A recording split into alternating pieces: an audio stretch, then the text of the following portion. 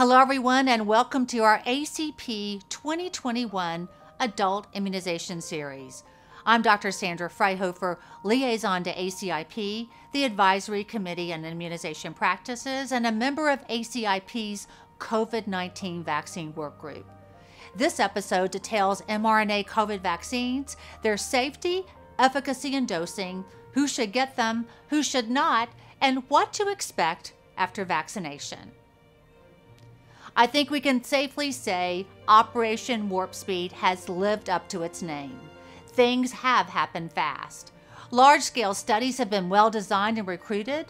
FDA has delivered transparency in the process. FDA's Dr. Stephen Hahn withstood White House pressure to release a vaccine too early. We now have two mRNA vaccines that are over 90% effective.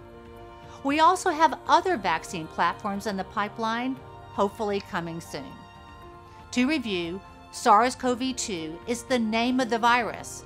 COVID 19 is the disease it causes. The spike proteins on the viral surface are the main target for vaccine development. Let's pause to reflect on where we were when this started and where we have come. The first alert sounded little more than a year ago, December 31st, New Year's Eve, 2019. A mysterious cluster of pneumonia cases was reported in Wuhan, China. January 21st, the first confirmed case hit the U.S. And by January 31st, 2020, things were really heating up. Secretary Azar declared a public health emergency. On March 11th, the World Health Organization declared a global pandemic. On December 8, 2020, as COVID vaccine cases in the US topped 15 million, the UK started vaccinating. The next day, warnings erupted from the UK about several severe allergic reactions within minutes of receiving the vaccine. We'll come back to this later. On December 11th, 2020, near the stroke of midnight, mRNA vaccines had their Cinderella moment. Pfizer BioNTech's mRNA vaccine got the green light for those aged 16 and older and became America's first COVID vaccine and the first mRNA vaccine ever to win FDA's emergency use authorization. Two doses of Pfizer's vaccine given 21 days apart are 95% effective at preventing COVID.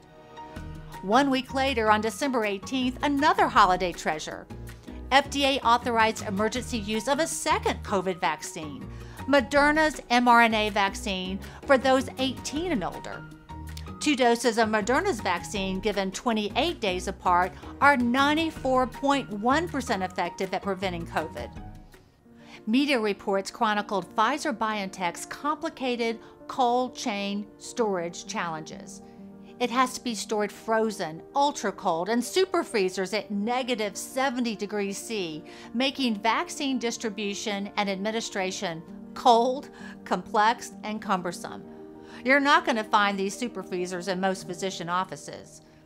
Moderna's vaccine is also stored frozen, but at regular freezer temperatures around negative 20 degrees C. Its cold chain requirements are much more user friendly. Moderna's vaccine can remain stable at 2 to 8 degrees C, the temperature of a standard refrigerator, for up to 30 days, and at room temperature for up to 12 hours.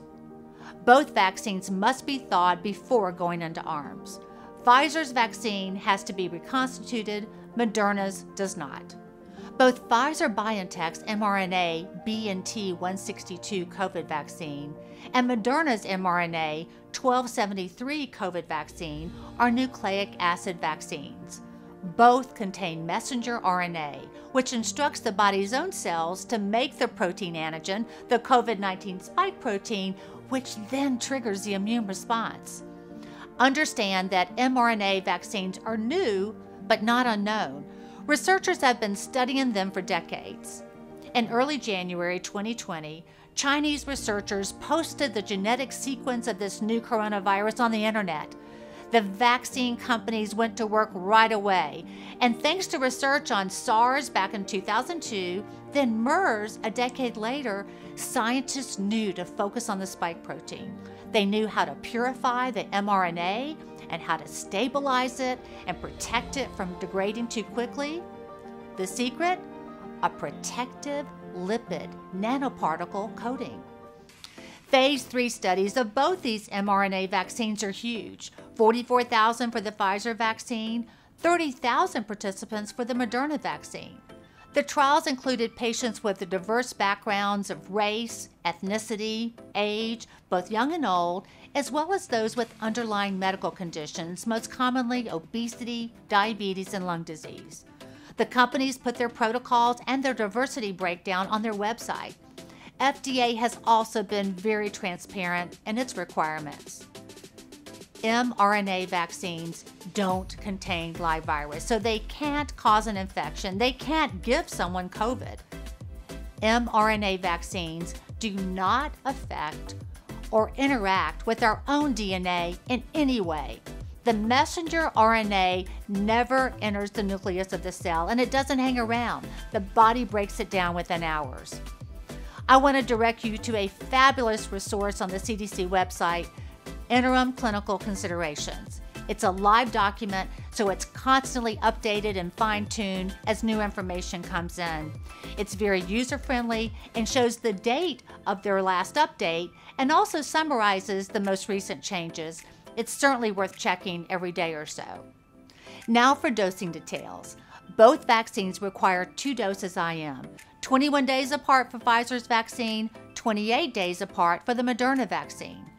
Current CDC guidance allows a four day grace period for giving the second dose early. CDC says there's no maximal interval between the doses for either vaccine. Vaccine efficacy after two doses is 94 to 95%. You need both doses for optimal protection, and you need to use the same product for both doses. mRNA COVID vaccines are not interchangeable so no mixing and matching.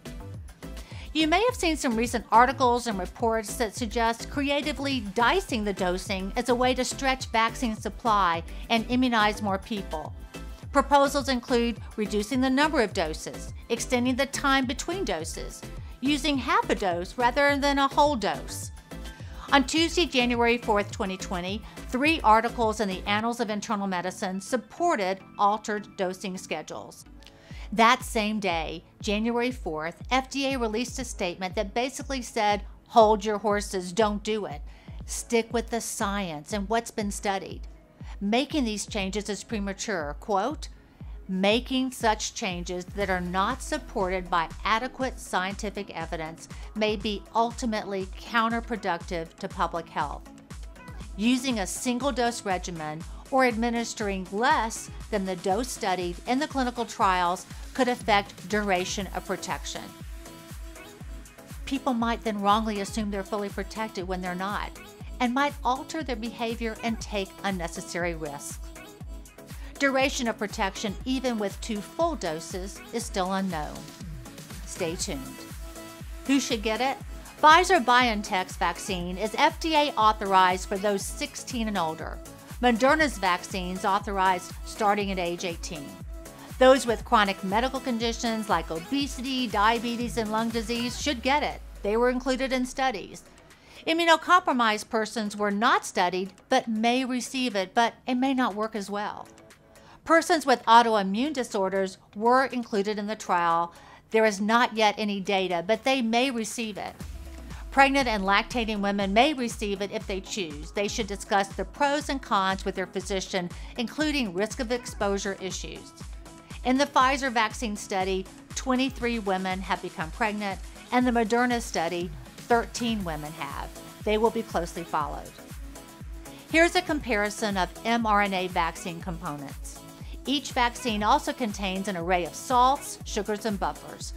Please note that mRNA vaccines don't contain egg, they don't contain gelatin, they don't have any preservatives, the vaccine vial stoppers don't contain latex. Each vaccine has four lipid ingredients that make up its protective lipid nanoparticle, which forms a bubbly little cushion around fragile mRNA to protect it and give it time to do its job.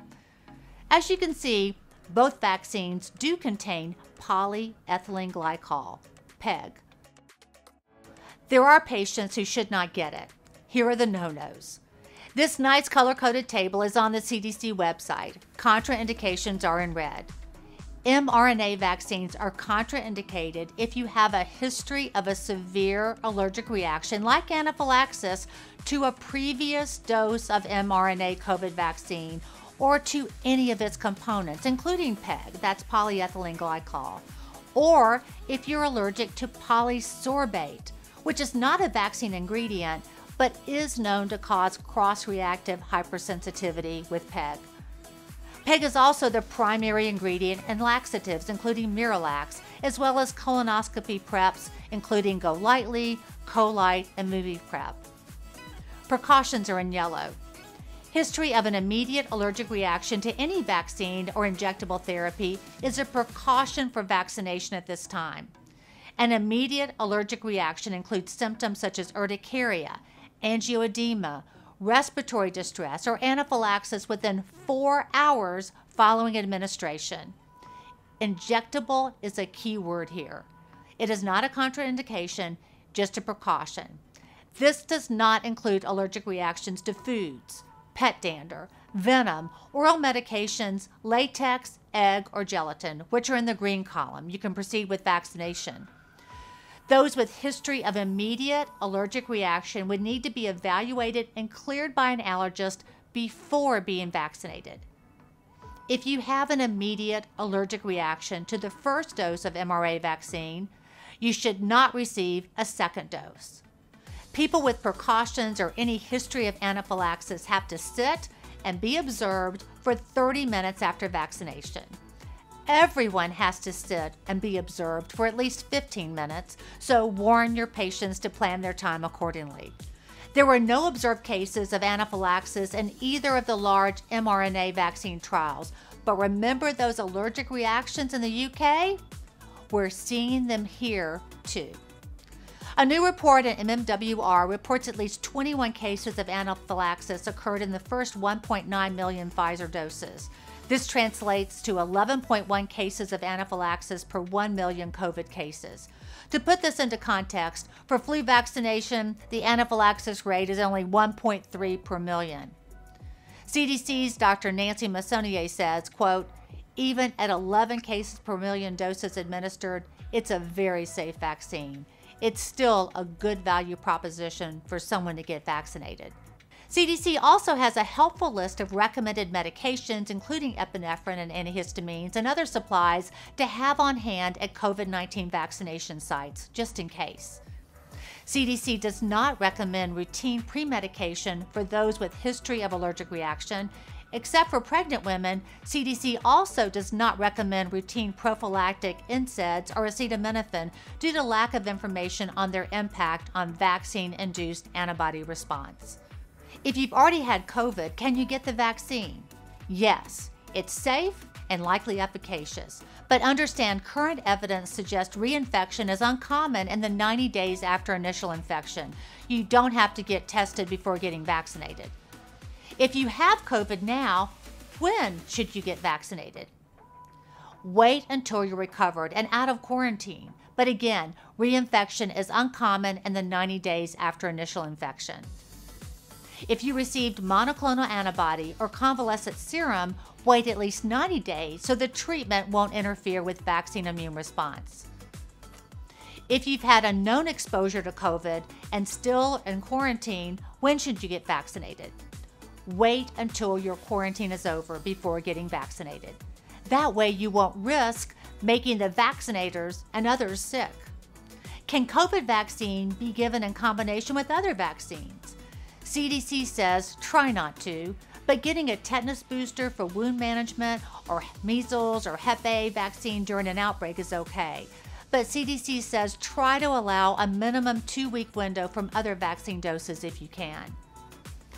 After getting a vaccine, will you test positive for COVID? Well, it depends upon the test. The vaccine will not interfere with diagnostic tests like PCR, nucleic acid amplification, or antigen tests, but it does affect serology. The vaccine induces antibodies to the spike proteins, and so does natural infection.